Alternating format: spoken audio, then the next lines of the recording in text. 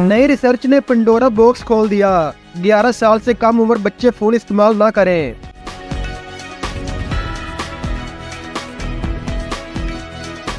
बरतानवी communication इदारे ई ई corporate ने बच्चों को मोबाइल फ़ोन इस्तेमाल से मुतलक नई तजावीज़ में कहा है कि वालदेन 11 साल से कम उम्र बच्चों को स्मार्टफ़ोन इस्तेमाल करने के लिए ना दें। कम्युनिकेशन इदारे ने वालदेन को दी गई नई तजावीज़ में कहा कि बच्चों को सिर्फ़ वो पुराने तर्ज के मोबाइल फ़ोन दिए जाए, जिनमें सिर्फ़ फ़ोन करने और मैसेज करने की सहूलत हो। अगर इनमें इंटरनेट की सहूलत ना हो, जिससे यूट्यूब टिकटॉक या दीगर सोशल मीडिया साइट चलाई जा सके।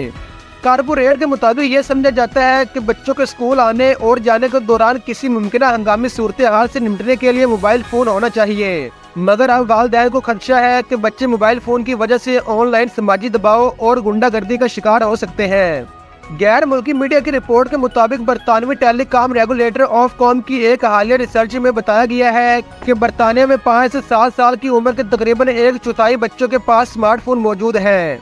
ऑफ़ कॉम के मुताबिक बरतानवी वालदेन ने अपने बच्चों को 11 साल की उम्र में प्राइमरी से सेकेंडरी लेवल पर जाने के मौके पर मोबाइल फ़ोन देने की अमल से अब पीछे हट रहे हैं। ऑफ़ कॉम के हाल रिसर्च में यह तश्वीशनाक बात सामने आई। कि बरतानिया में 13 साल से कम उम्र बच्चों की तकरीबन 50 फ़ीसद तादाद सोशल मीडिया इस्तेमाल कर रही है। बावजूद इसके कि 13 साल से कम उम्र बच्चों के लिए सोशल मीडिया का इस्तेमाल ममनू है।